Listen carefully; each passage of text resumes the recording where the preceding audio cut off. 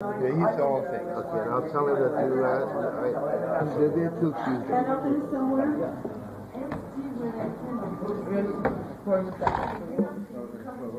Oh, we need to pause this now. What, what, what storm are there? Is the Meshulach now? What? Those two storm, what are they? Hey, can you give me those two, those two books?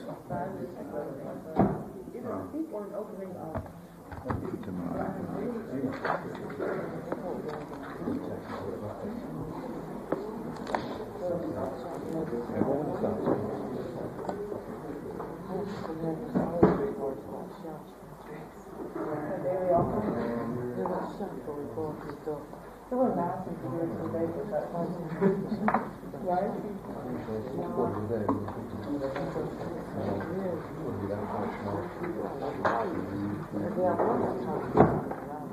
Rebbe, I'm apologizing, I just have to leave. What? I'm apologizing. No, you don't worry about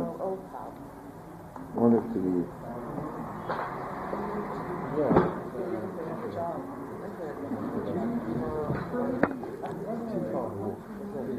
One has to leave. Okay,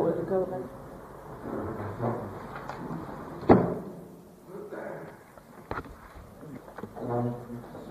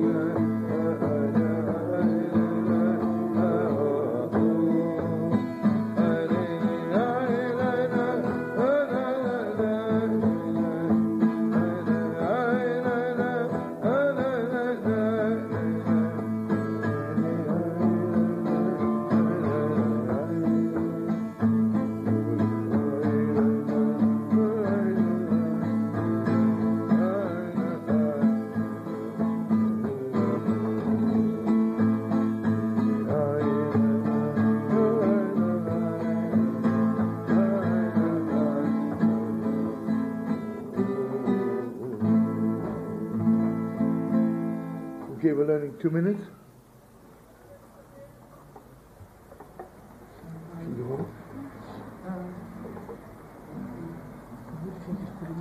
Okay, good. I know it's late, but two seconds. Where's Shimon, you say?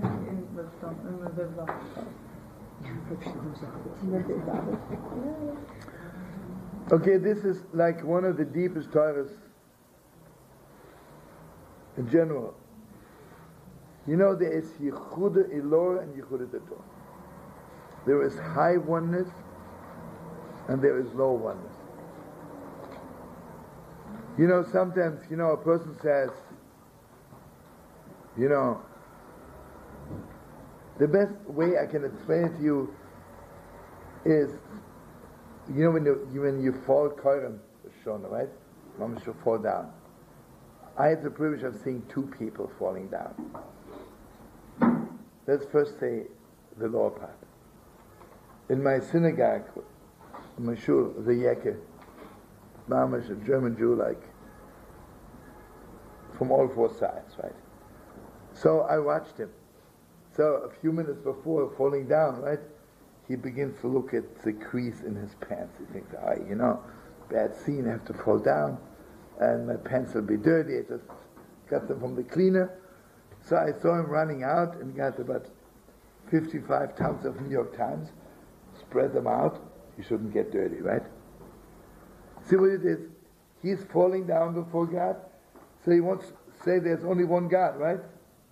Yeah, but there is only one God, but his pants are still there, right? So he's thinking of his pants. And then when it comes to falling down, you know, Mamish, he goes so slowly down into his knees to make sure that the pants don't get dirty and everything. And he gets up. And maybe in heaven is precious. But he didn't stop being himself for one split second, right? Then the old Modzitzer Rebbe, the Modzitzer was maybe six foot four. Giant. And I'm sure he must have weighed maybe, I don't know. Strong like a lion, you know, in his voice. He was one of the only in the world who had the highest range from the lowest to the highest. Like unbelievable, like uh, not to be believed. Someone comes for Nachnu Korim. Chassidim were there, mamish. Everybody was afraid God was mamish killing himself. They had carpets and, and, and they had everything. Because mamish, when he said V'nachnu Korim, was nothing but God. Nothing else. But you see what it is? Basically, when we say Shema Yisrael, Hashem Elokeinu, Hashem Echad, God is one, at that moment, there's nothing left. There is nothing. And when I say after that, Baruch Shem Kavod Malchus God's kingdom, you know what the king is? He needs people in the kingdom, right? Shema Yisrael is there's just God. And when I say, blessed be his kingdom, I'm going back to the world. There is a world, but God is the king. You see, when I say there is nothing but God, I don't say God is the king. There's nothing else there, right? The moment I say God is the king, I already say there is a world, but God is the king.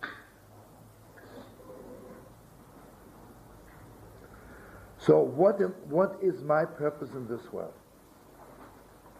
My purpose in this world is to bring about those two onenesses with God.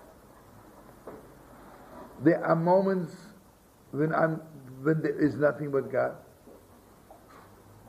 But you cannot live like this. If there's, you know, Shema Yisrael say twice a day for one second, because they cannot bear it for longer. I'm going to say nothing but God. So then nothing is in my hands, right? So I go back. And you know something between people the same way. Some you love somebody so much, you stop being yourself, right? Nothing, you're not even there, right? And then sometimes I love you, I'm I and you're you. When it comes to learning, it's the same way. Some people are learning, you know, and every phone call throws me off. And while I'm learning, I'm thinking about too many other things. It's low oneness.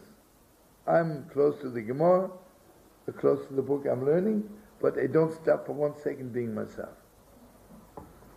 And then there's a learning, Yichud Eloah. You stop to exist. I want you to know something. Um, I mean, there are thousands of stories, you know. Rabbi Yonason Eibeshitz, one of the greatest, you heard of him, but Rabbi Yonason Eibeshitz about 250 years ago, he was like, wow. And this, and he would never wear a jacket when he was learning. He was just in a shirt. And one time, it was winter, and didn't understand something. He ran out in the garden, and they couldn't find him because they could not imagine him sitting in the cold garden. He sat there for 12 hours in the cold, and then he came back, and he wasn't even frozen. You know, he was like, he was so much one what he was learning, you know. You are, right? You know, when I was a little boy, I, I, I had the privilege of being in the yeshivas. My parents took me to show me yeshiva. So I saw somebody, and they told me he's 17 years old, and the way he's learning, he's learning eight hours, stops, eats a little bit, sleeps, then again eight hours, davens, whatever it is. Eight hours. and he doesn't have a watch, but he asks somebody else to let him know when the eight hours are over. I watched him. He he stopped being himself. He was turning him on.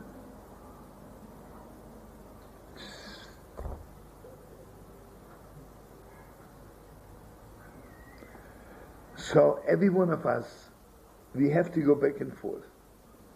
There are moments when God wants of us to really forget about ourselves. And then there are moments you can be yourself, but do this.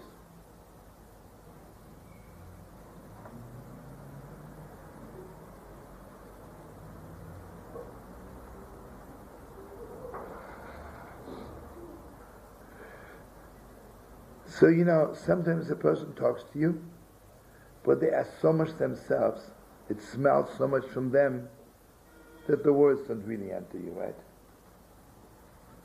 Listen, I will tell you, I think you should keep Shabbos. But while I'm saying it, I think, listen, me, me and Shabbos. So, look at me. Shabbos thing. How did, rubs you the wrong way, right? You don't want to hear what I'm doing on Shabbos. You want to know what, what's the Torah saying you should do on Shabbos, right? So me and Shabbos, so you and I are on a very low kind of oneness, right? And sometimes someone says to you, Mamish, tell me what really is, right? You know, most people, when they talk, we cannot help being a little bit ourselves, right? I'm not annihilating myself. Do you know the Holy Ruzhiner? When he would say Torah, he would say, Zugir, I say. And when he said I say, he didn't mean he, I. I say.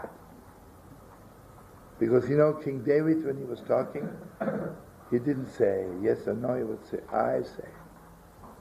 Because King David would not open his mouth unless it's shining to him from above.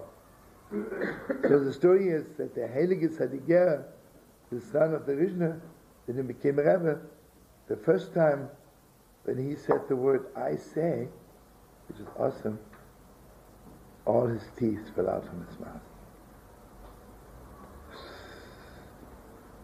He was shivering so much, you know. Mamish annihilating himself completely.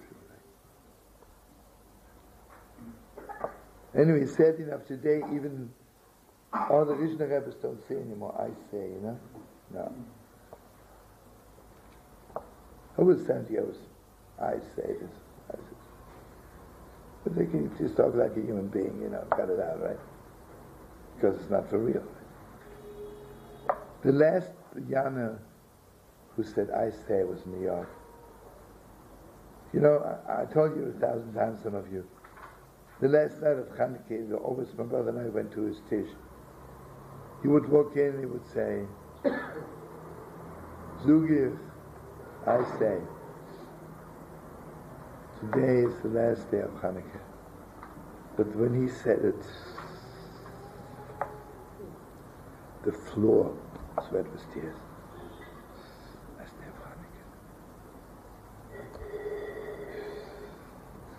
Hanukkah. Awesome. And then the whole Torah, you know, with, let's say the Torah is half hour.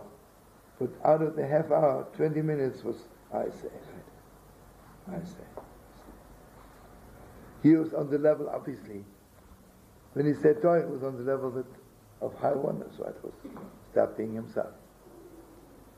Do you know the Rabbi Rabbi Melech found on the desk of his desk, his son had written down the Torah, he says, special shoes. Rabbi Melech looks at it, he says, wow, this is gefault, Torah. So he says to him, why you said it? He didn't remember. You know, the Holy Sanzer, you remember? The Holy Sanzer, by the third meal of Shabbos, they would sing, and then he would say Ragufen, and then he would say Torahs. Nobody could hear what he says. His, just his lips would be moving. and this could last between five minutes and sometimes 14 hours. But you know, I'll be sitting here. You'll walk out on me. They will leave a note when you wake up. You know, call me. You know, when he when he was, and the Chassidim call it the Stille Torah, the silent teaching. So when when he began the silent teaching, everybody in the room was out of their body. You didn't have to cough. You have to go to the bathroom. The only thing is, you have to stand somewhere, right? So everybody wanted to stand somewhere. But this story I heard in Bobov. His grandfather, Rab Shlomo the Bobov, when he was never, he was an orphan, his father was left, and he was, let's say, 12, 13 years old, comes for a third meal, and it's dark, hundreds of people, and he was like hanging in the air. And he knew every second now my grandfather's beginning to say the silent teaching, and I have nowhere to put my second foot on. He had one foot on the ground and the other one in the air. So suddenly, you know, feeling his way around in the dark, he hit on something, looked solid. And the Torah was 10 hours. After 10 hours, someone would come in and bring in two candles so you could see. Could see the whole floor sweat with blood because what he put his foot on is on a rusty nail, and the nail had completely penetrated his foot. But you see, doing the silent teaching, he didn't feel anything. He's 12 years old, and those days they had no penicillin. God forbid this boy, or they amputate the foot or anything. He went on to his grandfather, and you know, he loved him, says, Oh, Shlomo, he says, what happened? So he says, I stood on a nail, and it penetrated the whole foot. So he says, when did it happen? So he says later, doing this silent teaching, he says, what's that? He says, don't you know that after you sing Mizmor David, you mamish just saying Torahs? And the son says, yes. Is this so? I? Yeah? Is it really so? I didn't know, he said. But then he says, if it happened during that time, during that time, if I would be you, I wouldn't worry. So it never hurt him. There was always a hole in his foot, but never hurt him. And would you know something? Again, imagine I see somebody drowning. What happens to me at that moment? I stop being myself. It's high oneness. Someone says, give me five dollars, it's low oneness. Rab Nachman says, what we, what we are messengers of God is to bring into the world these two levels of oneness.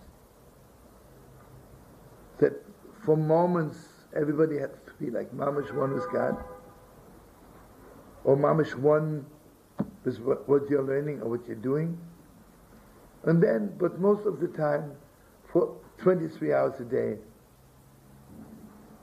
there's also a high level, low, low oneness. Means I know I have to be one with it.